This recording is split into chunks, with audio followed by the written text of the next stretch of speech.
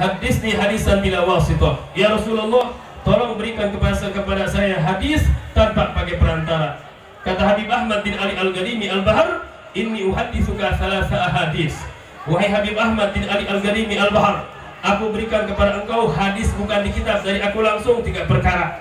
Apa yang pertama? Yang pertama kata Nabi Muhammad sallallahu alaihi wasallam man syariba gahwatal bun lam tazalil malaikah tastaghfiru lahu madama rihu gahwatil bun fi famil insan aramalkeun ieu hadis hiji dua tilu aramalkeun. Anu kahiji naon?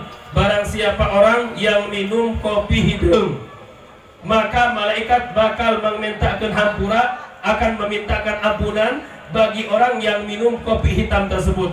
Selagi rasa kopi ada di bibir mulut orang yang minumnya. Kehatos apa hente ya?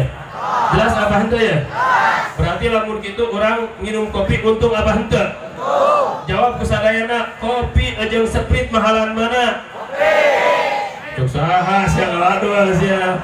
Kopi jeung seprit mahalan mana? Seprit atuh hayang apa mung? Mau dialungkeun jangke. Seprit jeung Coca-Cola mahalan eh kopi jeung Coca-Cola mahalan mana? Hayang apa mung? Kek geus beres muludan lamun joket gaur. Ngan mejana ulah dibat. Ulah dibetot besimpet bos ieu meja mahal. Bener apa henteu ya? Terus anu katiluna ieu LE mineral, jeung kopi segelas mahalan mana? Tapi ingat LE mineral ada ai hargaan lah kan antep ada harga mahal ke dia mahal kan teguna naon.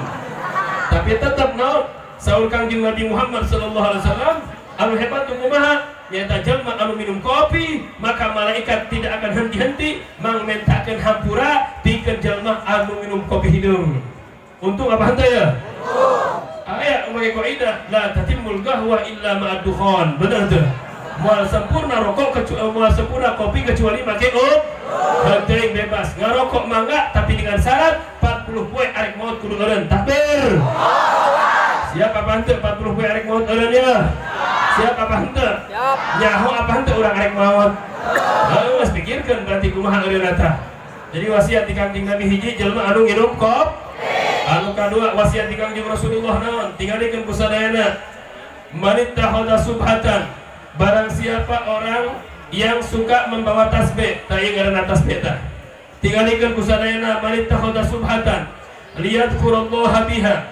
Kutiba minadz dzakirin Allah katsira dzakara biha aw lam yadhkur barang siapa orang yang suka membawa tasbih untuk berzikir pada Allah Subhanahu wa taala baik pun tasbih tersebut digunakan untuk zikir ataupun tidak kutiba minadz dzakirin Allah katsira dzakara biha aw lam yadhkur. Maka orang tersebut bakal dicatatkan oleh Allah Subhanahu wa taala tukang zikir walaupun tasbih tersebut tidak dipakai zikir. Keuntungan jelma anu sok mawa tas.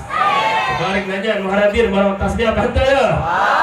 Keluarkan tegunan non anu ngeluarkan mudah-mudahan sing boga tasbih kau keluarga juta Mungkin eta kaukahna dijual mudah-mudahan sing laku 100 juta. Mungkin anu 100 juta mudah-mudahan sing bawa bulak balik ke Mekah umroh jeung haji. Keluarkan bulu teguna naon sia. Berkieu mah ieu mustajab doa ayo keluarkan. Ulah sampai ke batur makan ke Mekah berkah doa menang kau ka anu nawar 100 juta akhirnya orang ngalamun curug serangan hanya kal orang teu ngaluarkeun tasbih bener teu? Keluarkan berkieu mah tong era-era coba keluarkan kabeh tuh.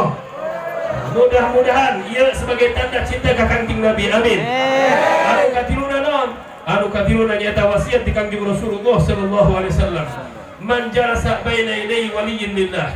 Barang siapa orang yang duduk di depan walinya Allah, hayyin aw mayyitin, baik pun wali tersebut masih hidup ataupun sudah meninggal, faka'annama abadallah fi zawayal ardi hatta tanqati'a irban irban maka seakan-akan orang tersebut yang suka ziarah kepada wali seperti orang yang ibadah kepada Allah Subhanahu wa taala sampai terputus-putus tulang-tulang eta jelema saking hebatnya ziarah kepada wali Allah Subhanahu wa taala. Ini tiga perkara adalah wasiat daripada Nabi Muhammad dan hadiah untuk kita sebagai umat Nabi Muhammad.